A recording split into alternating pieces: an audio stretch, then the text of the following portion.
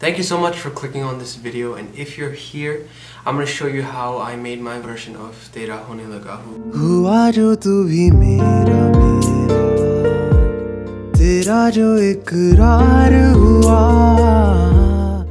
Which on Spotify has 25,000 streams in less than a month, which is crazy. And thank you so much to anyone who's listened, it means so much. Okay, so when I first start making a piece like this one, I'm usually on the piano or guitar first because I'm really fluent in those instruments. So I use that to kind of like make ideas of how you can organize a piece.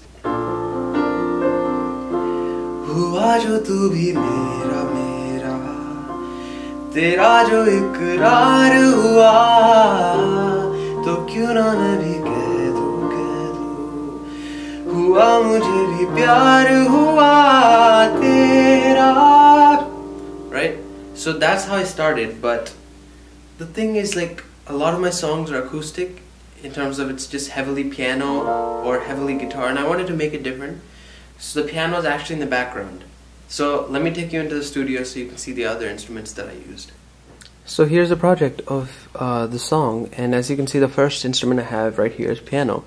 The other instruments I have here are the 808 drum kit that I use for percussion. This is the sub bass. This is acoustic harmonics, which is interesting. I'll show you that.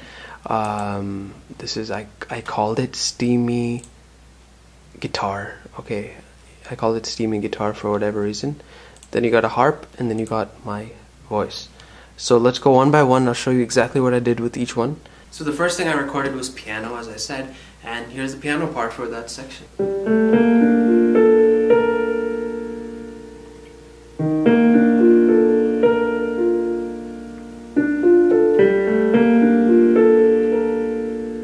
So now if we listen to the piano with just the voice, it sounds like this. I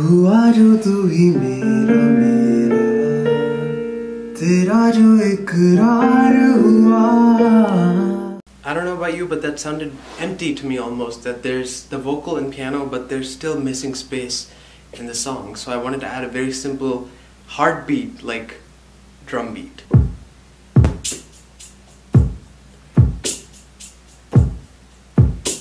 I don't know if you can hear it properly. I think you can. It's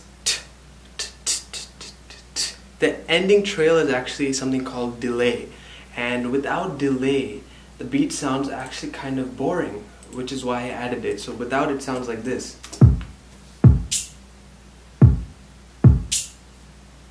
And with the vocal,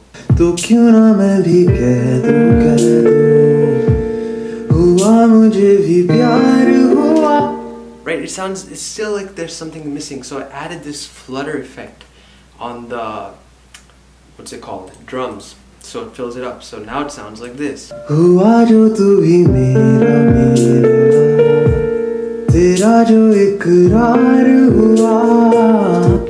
so much more complete. The next instrument that I have on my list is bass.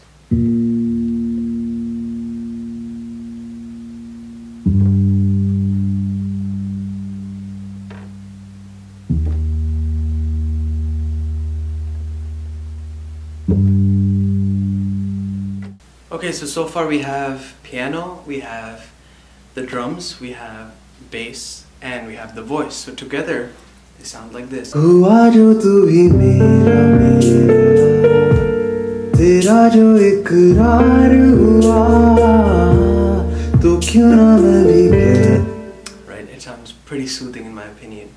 The next thing we're going to do is interesting sound. It's called acoustic harmonics, which is if you play guitar or if you play any string instrument, there's this high reson- high resonant frequency that comes above the note, uh, which are called harmonics. So it sounded like this. I wanted to just add a little bit of shine and texture into the song. So that part sounds like this.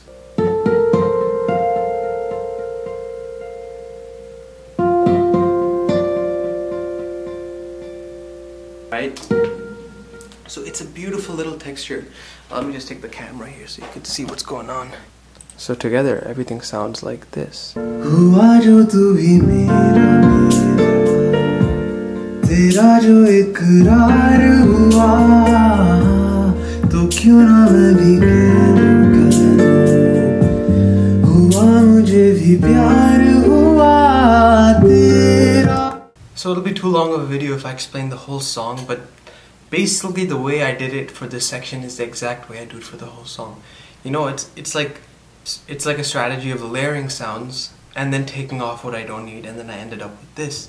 It sounds really simple, but it's also powerful at the same time. There's still a couple more instruments that are used in the later chorus of the song, um, but it's the same principle. You know, you're just adding things that would accent the song. Uh, so now what I want to do to finish off the video, I hope you guys enjoyed that. Um, I'm gonna play the finished section of this